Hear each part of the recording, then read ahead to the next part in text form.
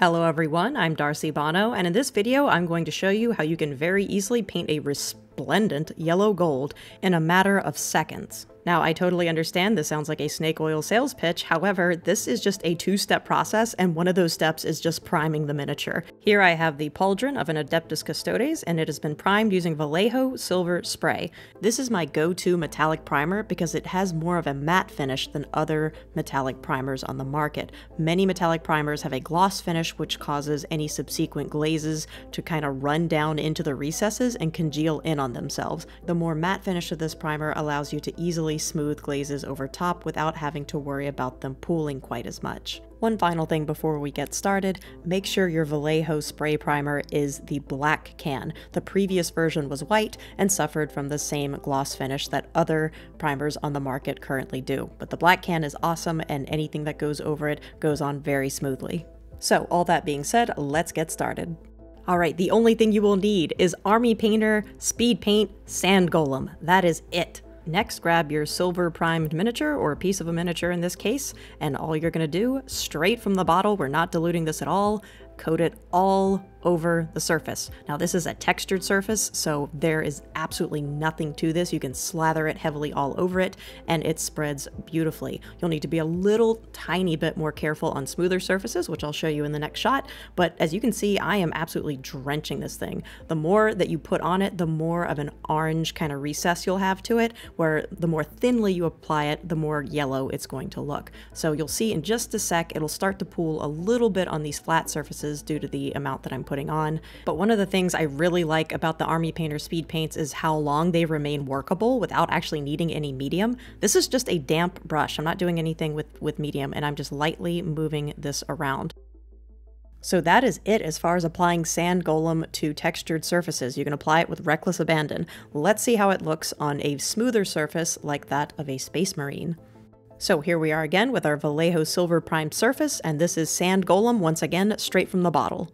When working with smoother surfaces like this, don't drench your model like we did on that textured surface. Work in portions. So smooth it over one part of the model, make sure that it's nice and even and it's not pooling and oversaturated, and then move on to the next portion.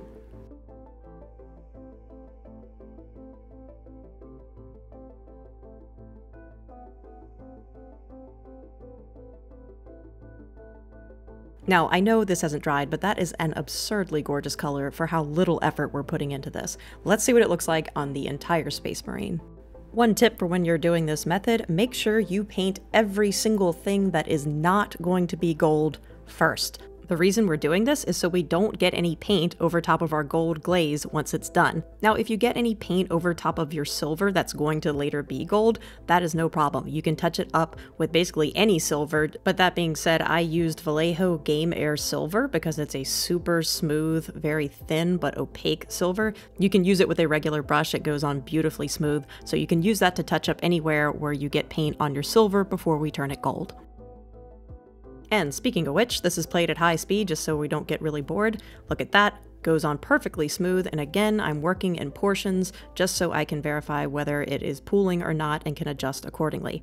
And honestly, that's all there is to this. If you happen to get any of this yellow glaze on anything else, it's actually really easy to correct as it's already semi-transparent, so it's not going to deeply saturate whatever surface it touches.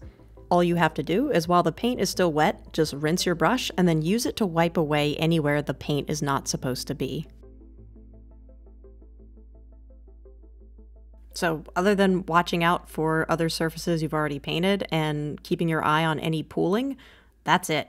This is a one and done process for a very beautiful gold. And honestly, Space Marine armor is probably as hard as it gets outside of trying to paint a vehicle with this. You could absolutely apply this with an airbrush to vehicle panels, but overall it's not really meant to be spread over giant smooth surfaces. You're gonna have very visible brush strokes. So if it's a small smooth surface, it's fine, or if it's a large textured surface, it's fine, but not both large and smooth.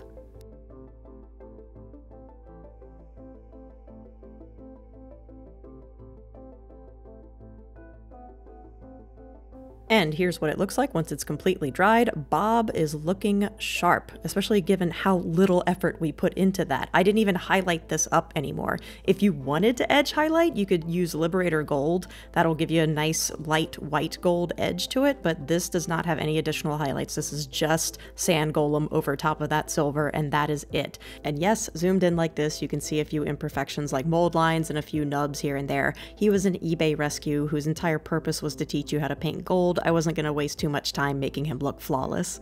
Anyway, if you'd like to see how I painted the other components of this miniature, especially that spectacular Celestial Lion's Blue, there's a link in the video description that will take you to my Ko-fi page. It operates as a digital tip jar as well as a blog where I can put all my written color recipes, so feel free to check that out if you'd like to know how I did the rest of the color scheme.